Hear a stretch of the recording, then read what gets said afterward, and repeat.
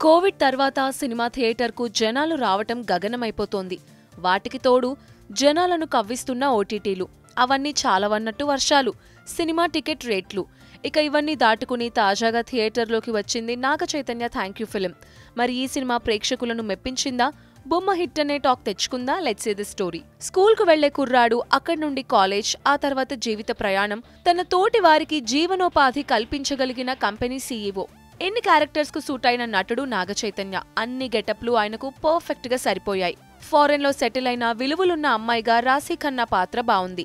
గట్టిగా పట్టుకోగలిగేదే కాదు ప్రేమించిన వ్యక్తిని స్వేచ్ఛగా వదిలేయటం కూడా ప్రేమే అని కళ్ళతోనే చెప్పిన మాళవిక క్యారెక్టర్ చాలా మందికి కనెక్ట్ అవుతుంది. అవికా గోర్ కోసం రాసిన చిన్ను క్యారెక్టర్ ఆడియన్స్ని సర్ప్రైజ్ చేస్తోంది.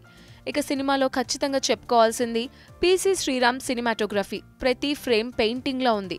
ఫారెన్లో మంచు కురిసే దృశ్యాల దగ్గర నుండి నారాయణపురం అందాలను రాజమండ్రి బ్రిడ్జ్ వైశాల్యాన్ని చూపించడంలోనూ ఆయన ప్రత్యేకత కనిపించింది. తమనందించిన నేపథ్య సంగీతం కథకు తగ్గట్టే ఉంది.